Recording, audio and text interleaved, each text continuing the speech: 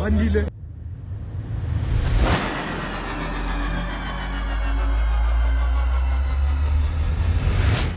we va thithi bandile mfeti wa tseba mosdimelo no thila bandile mfanan bandile